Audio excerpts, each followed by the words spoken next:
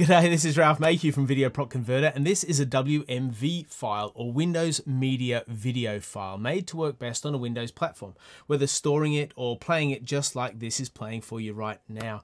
You can actually convert any video you like, but today we're going to take an MP4 and we're going to convert it into a WMV format.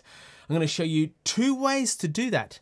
And if you benefit from this content, if you like it, please give us a thumbs up and don't forget to subscribe to the channel. We'd much appreciate it. So let's get into some editing, shall we? Both methods are really straightforward, but you have to start on the menu screen and click on video. Once you're here, you drag and drop your MP4 file into the VideoProc converter window.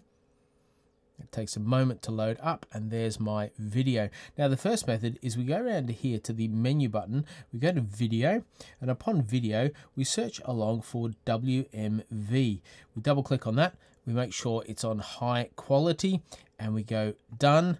Make sure our output folder is correct. We're going to use the high quality engine and we simply go run.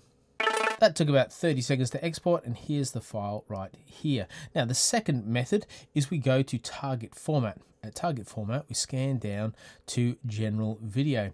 At general video we click on that and we scroll down until we find the video format we're looking for which is right here. We select that we go to slow, high quality. It just means it takes a slower time to create a high quality video, but we're talking a matter of seconds. Go done, make sure our output folder is correct. We're using a high quality engine. We go run. If you use this function a lot, you can add it to the favorites menu tag by selecting popular, then finding the WMV option through the general video tag and select it.